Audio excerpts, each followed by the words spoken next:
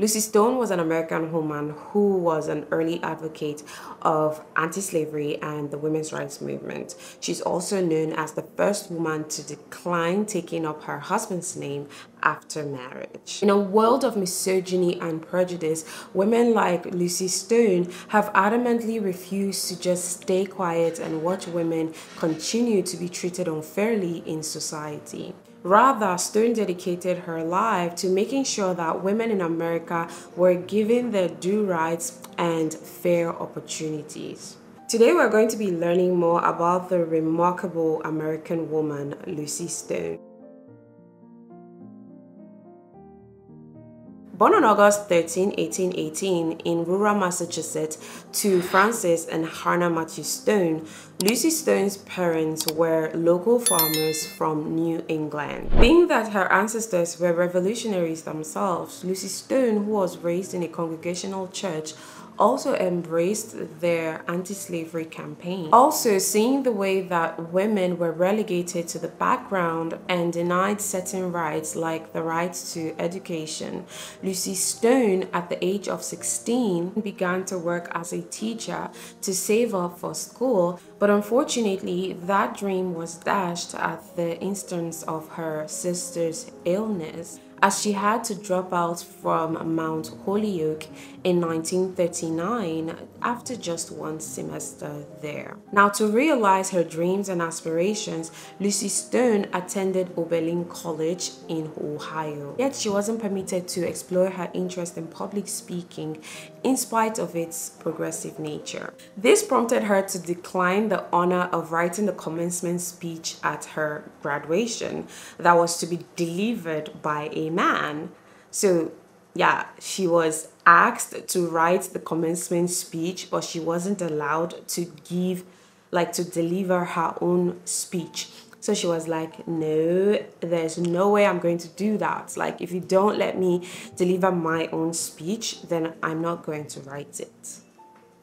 Yeah, tough lady. By reason of the few career prospects open to women at the time, Lucy Stone took advantage of the employment opportunity offered to her by abolitionist Williams Lloyd Garrison. There she utilized the opportunity of writing and delivering abolitionist speeches for his American Anti-Slavery Society and also at the same time got busy with the women's rights movement activities which unavoidably um, got her lots of insults and assaults. But she was persistent. She didn't let all that to deter her. Rather, this made her more popular and eventually she started earning more than her male, you know, lecturer counterparts.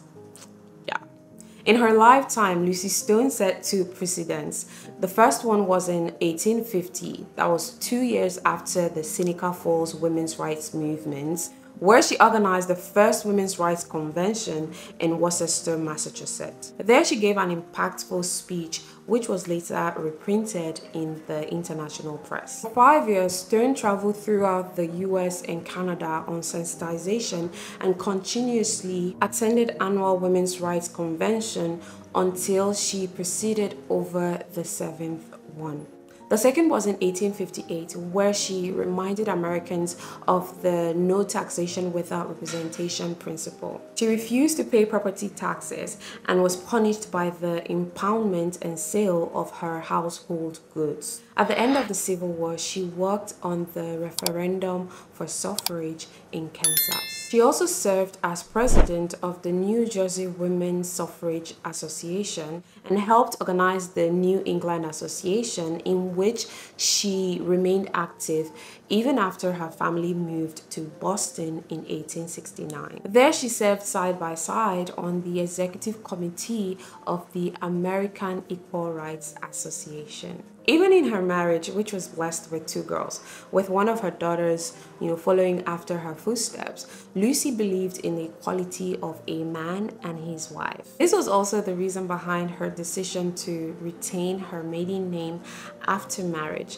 making her the first woman ever to do so. Obviously, her decision to do this gave her a lot of criticism, but today she's forever going to be referred to as the first woman to boldly refuse taking up her husband's last name after marriage. Lucy Stone lived her life fighting alongside other remarkable women for the rights of women in America, to see women given their rightful places in society. She died on October 18, 1893 in Boston, Massachusetts at the age of 75. And that is the brief history of the life of Lucy Stone, the remarkable American abolitionist, suffragist, and a women's rights activist. If you'd like to watch more videos like this, I have so much more you could go through on the playlist.